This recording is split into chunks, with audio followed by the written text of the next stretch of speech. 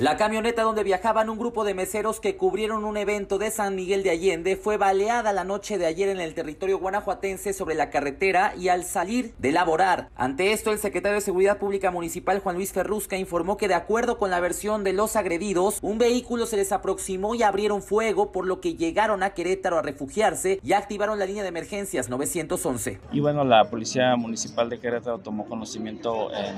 aquí a la altura de la empresa de Catlón.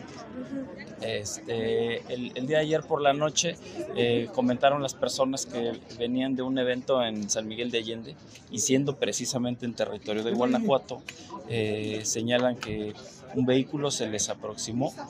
y eh, les empieza a detonar presuntamente armas de fuego en contra de los tripulantes del vehículo. Reveló que en la camioneta viajaban de 6 a 8 meseros y que hasta el momento solo se tenía el reporte de un lesionado con arma de fuego en una extremidad inferior que no ponía en riesgo su vida. Añadió que la información aún se está terminando de procesar por parte del área de servicios periciales para determinar el número exacto de impactos de bala que recibió la camioneta y cuántas personas resultaron lesionadas pues algunas de ellas al llegar a Querétaro decidieron retirarse por temor. Asimismo, el fiscal general del estado, Alejandro Echeverría Cornejo, manifestó que se tienen acciones pendientes para resolver este caso, pero que ya le corresponderá hacerlo en Guanajuato. Nosotros iniciamos la carpeta de, investigación precisamente por lesiones producidas por arma de fuego,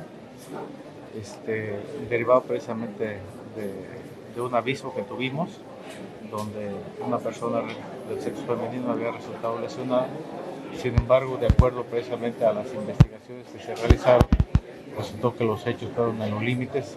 del Estado, pero en jurisprudencia o en competencia, para ser más exacto, de,